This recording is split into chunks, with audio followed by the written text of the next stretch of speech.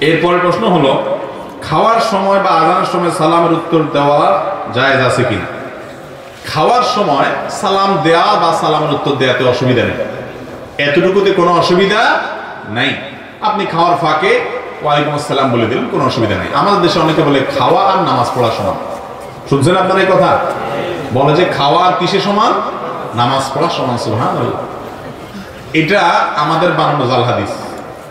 কোরআন হাদিসে কোথাও খাওয়ারে নামাজ পড়ার সাথে তুলনা করা হয় না খাওয়া আর নামাজ পড়া যদি সমান হয়, তাহলে খাইতে খাইতে দাঁড়াইতে হবে, খাইতে রুকু করতে হবে, খাইতে খাইতে সেজদে যাইতে হবে, নামাজের মতো করে। আবার নামাজ জন্য যেরকম উজু করছেন, খাওয়ার জন্য উজু করতে হবে যদি খাওয়ার নামাজ পড়া সমান হয়। এটা তাহলে বোঝা গেল ভুয়া জেনে, ভিত্তিহীন জিনিস। খাওয়ার মধ্যে দরকারি এক, দুইটা কথা বলা যাবে। একদম খাইতে খাইতে সারাক্ষণ বক বক বক বক করতে থাকে, সেটা আবার উচিত না। খাওয়ার আদবের খেলাফ। একটু সালাম দিলেন বা কাউ সালামের জবাব দিলেন, তাতে অসুবিধা নেই। তবে বাইরে থেকে কেউ আসলে যিনি খাচ্ছেন তাকে সালাম দেওয়ার আগে হিসাব করবেন। বেচারা যদি গাবর সুবুর খাইতেছে, দেখেন অনেক ক্ষুধার্ত।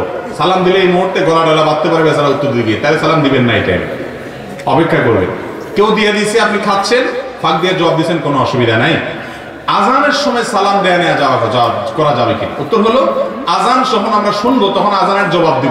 ওই সময় সালাম না, আজানের জবাব দিতে হবে। এখন কেউ আপনার সাথে দেখা করতে আসছে, আজান চলতেছে। তিনিও সালামের জবাব দিবেন, যার কাছে দেখা করতে আসছে, তিনিও সালামের জবাব দিবেন।